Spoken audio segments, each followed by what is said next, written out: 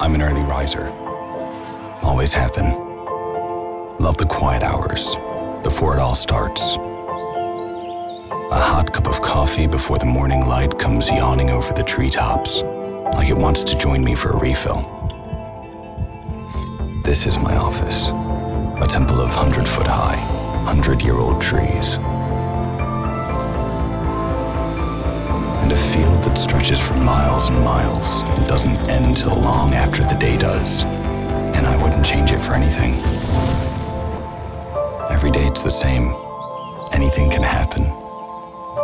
When everything comes together, you trust yourself, trust your equipment, trust your team. You get that right, and you'll come to love what you do.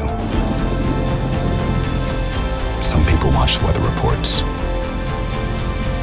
I just watch the weather.